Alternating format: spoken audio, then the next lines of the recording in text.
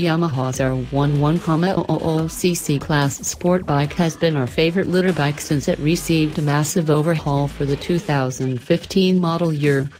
But that doesn't mean Yamaha is resting on its laurels, instead revising the R1 and R1M with just a few minor tweaks that will bring about big improvements for 2018.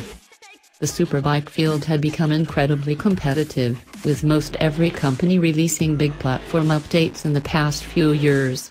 We saw a new Kawasaki ZX-10R last year and new Honda CBR 1000RR and Suzuki GSX-R 1000 this year, and the Yamaha bested all of them in both our 2016 and 2017 Superbike shootouts. Yamaha won.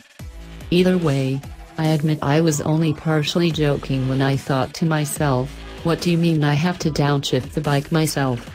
Because that's a thing modern sport bikes can do.